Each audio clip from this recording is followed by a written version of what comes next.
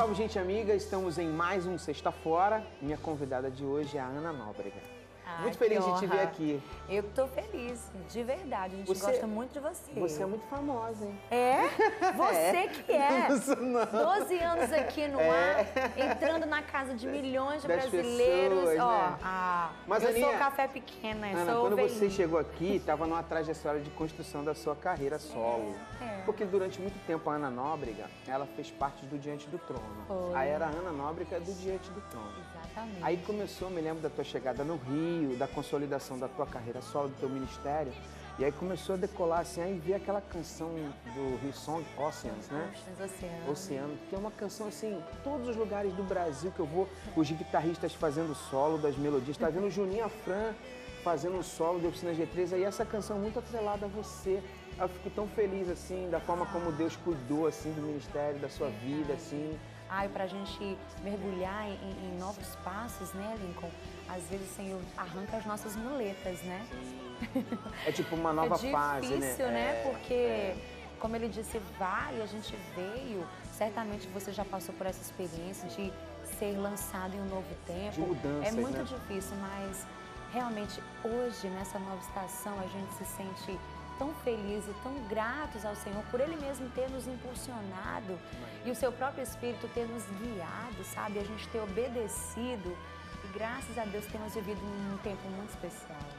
Eu falo disso porque eu observo que alguns grandes nomes do nosso meio, ministros de louvor e adoração, às vezes eles têm, eles me falam, Nico, por que, que a coisa não virou? Porque, porque às vezes falta uma canção, sabe, que chancela assim, uma canção que seja, que esteja na voz da igreja brasileira para que aquele ministério aflore.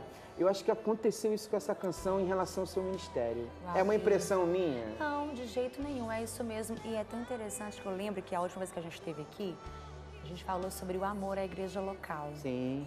Falamos sobre, né, você me perguntou sobre o movimento de adoração no Brasil e Sim. eu falei muito sobre a igreja local. Sim. Nós permanecemos ainda com essa, essa mensagem dentro de Uhum. nós e realmente como eu devo à igreja local, né, as comunidades locais que receberam essa canção, né, Uhum. que Deus trouxe para o nosso repertório e realmente te- é exatamente isso que você está dizendo. A igreja abraçou essa canção, elas têm abraçado o ministério, a mensagem que o Senhor tem nos dado e eu realmente amo cada vez mais a igreja local, a igreja brasileira, por, por nos receber, por nos amar dessa maneira. E há uma diferença, assim, por exemplo, você que é uma ministra de louvor, tem uma formação nessa área, assim, muito dessa coisa da.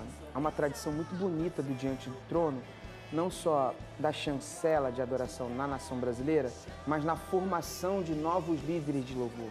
Tem escola, o Diante do Trono tem escola. Há uma formação, já vem uma nova geração de pessoas formadas pelo Diante do Trono. Mas é bacana quando você tem uma impressão assim de você cantar algo que tem a ver com o teu ministério, que a igreja cante junto. Exato. Porque às vezes tem uma coisa autoral, que há uma satisfação em Deus de você estar colocando aquilo no teu repertório, mas às vezes não é tão conhecido. Agora, quando você canta uma canção né, e vem aquele retorno em relação às pessoas conhecerem, qual o diferencial disso assim? Olha, é, a gente tem vivido uma experiência muito interessante. É, Oceanos é uma versão. É uma né? versão. É uma versão.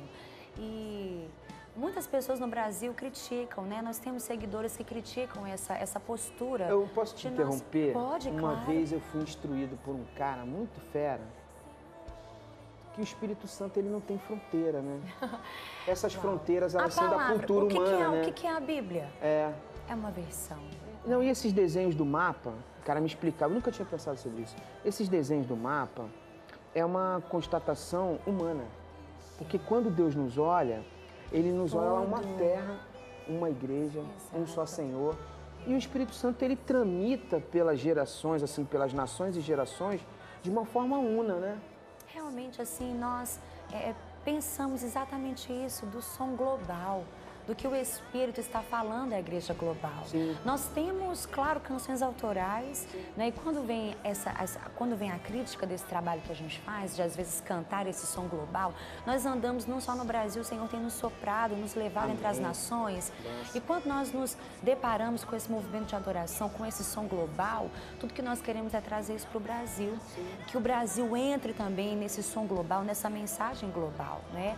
E nós é, sabemos que a igreja também, ela se identifica, ela tem o Espírito Santo, isso é testificado e eu não me importo se a igreja está cantando uma música que é minha. Eu não uhum. quero esse orgulho. Uhum. Eu quero realmente que ser um instrumento de conduzir a igreja brasileira a um som, a mensagem global, ao que o Espírito está falando globalmente, né? Se for algo que ele me deu, inspirado né, por ele próprio, glória Amém. a Deus. Mas se não for, eu também quero servir os ministérios internacionais, trazendo a canção deles aqui, cantando na nossa língua o que o Espírito tem, tem soprado globalmente. É verdade. Me fala uma coisa, é, desse momento que você falou da igreja local, que a gente conversou lá atrás, você já está há algum tempo aqui no Rio. É você já está adaptada assim? Eu já cheguei no Rio amando o Rio de Janeiro. Mas eu acho que tem a ver com esse ciclo novo que se abre. Porque você viveu um momento importante, a gente falou sobre isso da outra ah. vez, lá de Belo Horizonte. Com certeza. Um momento da adoração no Brasil oriunda de lá. É. Só que esse momento ele passou. Nós vivemos um outro momento. É. E esse outro momento, aí parece que você veio para o Rio de Janeiro, que também tem uma tradição, é, na história da adoração no Brasil. Totalmente. A gente estava falando do Livingston, né? O é. Livingston carioca, de Cabo Frio e tal. Essa história. É, toda. tem uma coisa Quantas aqui. Quantas composições? É, e como tem sido essa tua adaptação ao Rio em relação ao seu ministério? Assim, se ele mudou, se tem uma nova leitura. Totalmente. É claro que tem uma essência, mas se tem algumas coisas que são diferentes. O que, que você tem trazido de aprendizado desse momento de vivência da igreja local no Rio de Janeiro, claro, para o Brasil e para as nações, né? Isso que eu falei para vocês aqui, é, realmente estar no Rio de Janeiro foi um tempo novo para mim, no que, no, no, que diz respeito a, a, eu me liderar, a eu liderar o meu ministério, a estar à frente, agora não contar mais com todo o apoio que eu tinha antes, mas agora encarar esse novo caminho completamente dependente do Espírito Santo de Deus. Uhum. A gente sempre depende, mas nesse momento, quando você está à frente, quando você tem que. É o seu nome, é, é a tua busca pelo Espírito Santo, é o que você vai trazer do céu que tem passado pela tua própria vida. Então, isso é totalmente novo, te exige um crescimento.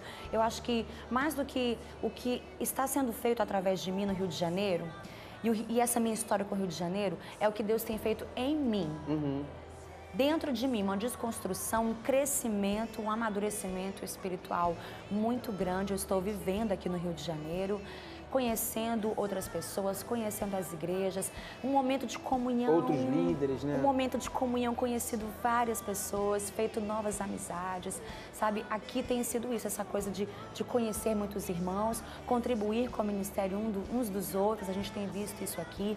Tem um café aqui no Rio de Janeiro de líderes de louvor. Foi legal de ministros de unidade, louvor. É, Não só na unidade, a gente tem feito um rodízio. Uhum. Então nós temos ouvido uns aos outros, orado uns com os outros, chorado uns com os outros.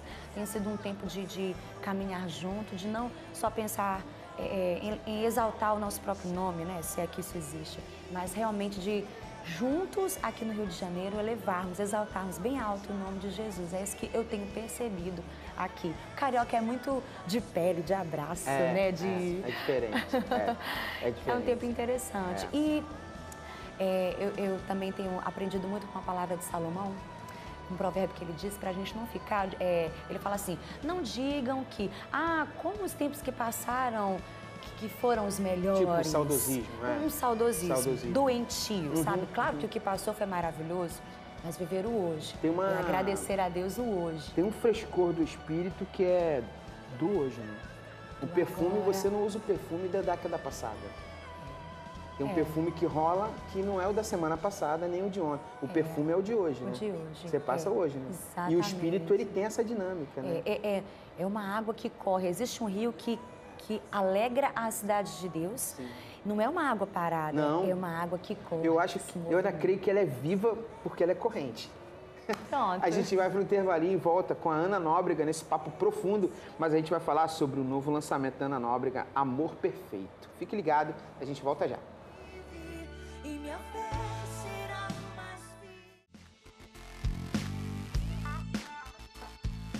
Legal, estamos de volta com a Ana Nóbrega e o lançamento é Perfeito Amor.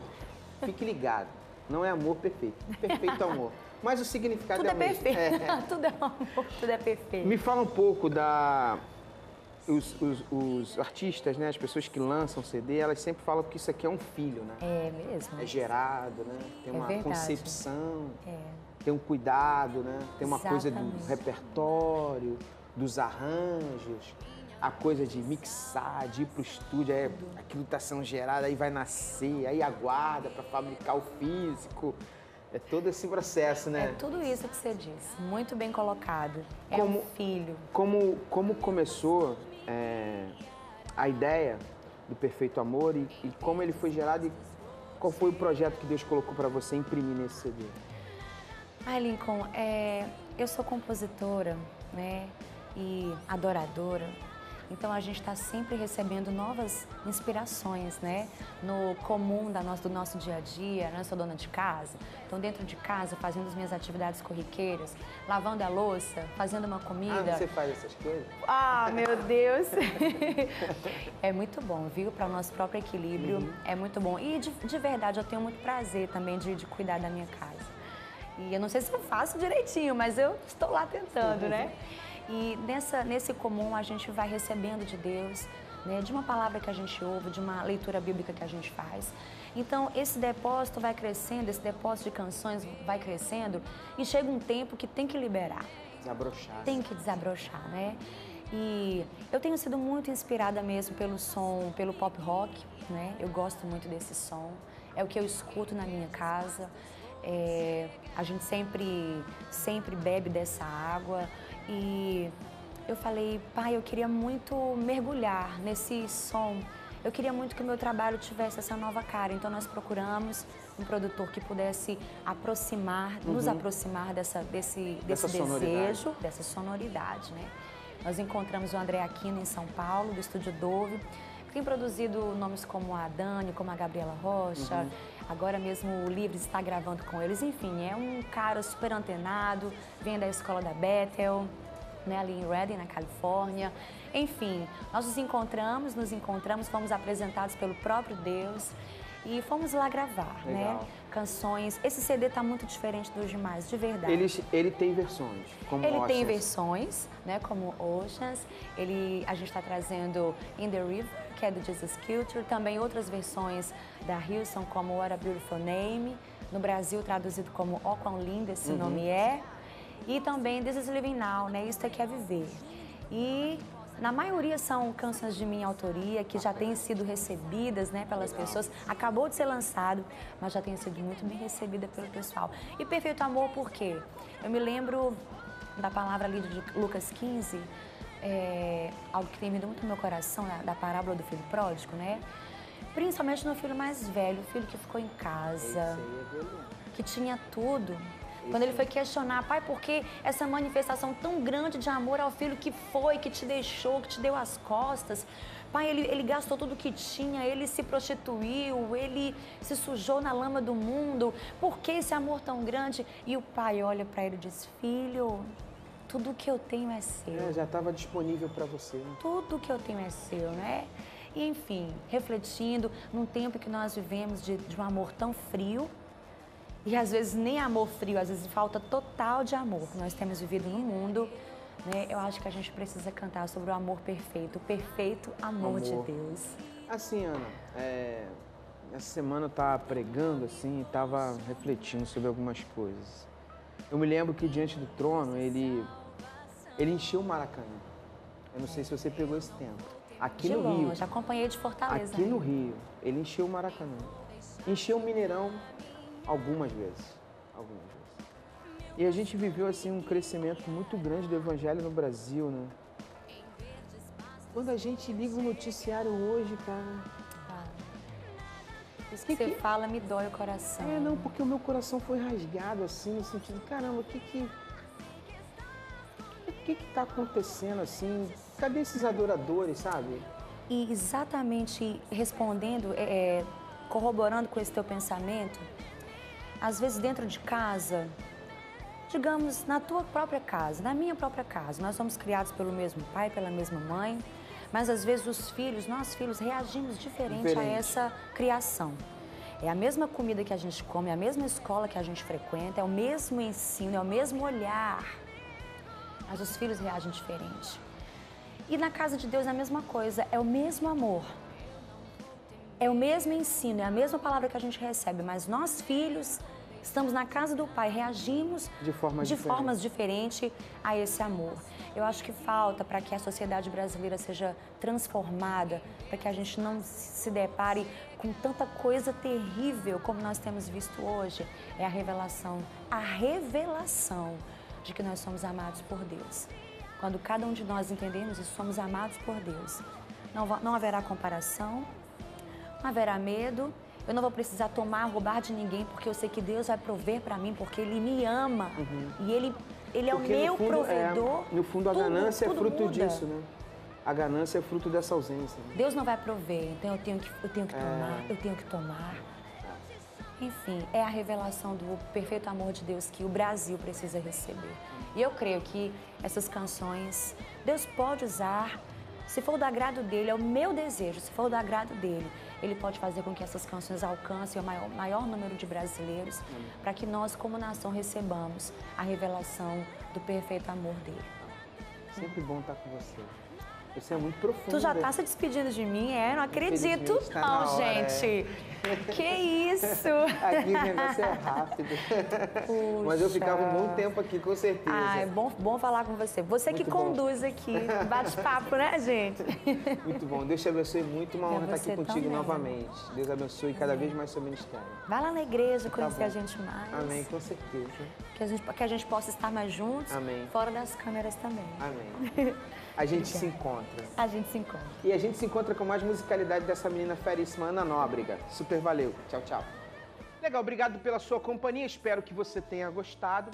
É, um abraço, um beijo aí para Ana Nóbrega, para a galera da Ação Livre, em especial Márcio Moreira, grande brother, grande queridão assim da gente que com todo carinho trouxe a Ana Nóbrega, o pessoal da Ação Livre, para que possamos fazer essa belíssima entrevista. E eu espero que você tenha gostado. Escreva para a gente e saiba que os nossos conteúdos de sexta-feira estão todos no canal da Boas Novas, através do YouTube, onde você pode botar Galeria Clipe e Ana Nóbrega, Thales Roberto, André Valadão, qualquer pessoa, é, Gabriela Rocha, todo mundo que passa por aqui nas nossas entrevistas. Às vezes você quer rever essas entrevistas, é muito legal. Às vezes você vê uma vez, a segunda vez te dá uma noção bacana de coisas mais profundas que a pessoa está conversando. Fique muito à vontade. Nosso interesse é sempre um conteúdo de relevância e bacana para sua vida. Obrigado pela sua companhia. Deus te abençoe muito. A gente fica com uma canjinha da Ana Nóbrega com a canção Não Me Deixe Desistir. Uma coisa que me, me recorda assim, esse bate-papo com a, com a Ana é essa coisa de, de compreender o tempo das coisas. Ana foi durante muito tempo uma auxiliadora do Ministério do Diante do Trono. E ali naquele tempo de formação, há toda uma capacitação e uma preparação para que ela pudesse desfrutar de um momento magnífico como é agora a sua carreira, a sua carreira solo. Às vezes nas nossas vidas a gente não consegue entender o tempo das coisas. Às vezes você está no colégio ou está numa funcionalidade doméstica, alguma coisa que você gostaria de estar tá trabalhando, gostaria de estar tá desenvolvendo um outro trabalho e você percebe que aquele momento está durando e no fundo Deus está cuidando, sabe? Existe uma soberania de Deus no cuidado do tempo da nossa vida. Coloque tuas coisas, principalmente o tempo, nas mãos do Senhor e aprenda a desfrutar de paciência e compreensão da forma dele te cuidar e te presentear ali na frente. Deus te abençoe muito. Super valeu e tchau, tchau.